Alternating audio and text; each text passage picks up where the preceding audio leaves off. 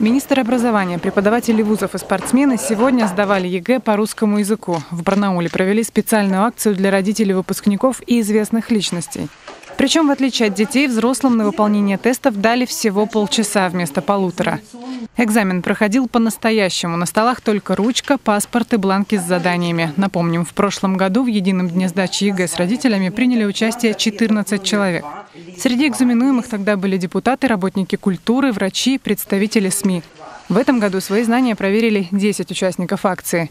В их числе министр образования и науки Алтайского края Максим Костенко и его сын 11-классник Святослав – Чемпион мира и Европы по дзюдо Иван Нифонтов, учитель года Иван Гребенкин, а также декан факультета массовых коммуникаций АГУ Сергей Мансков.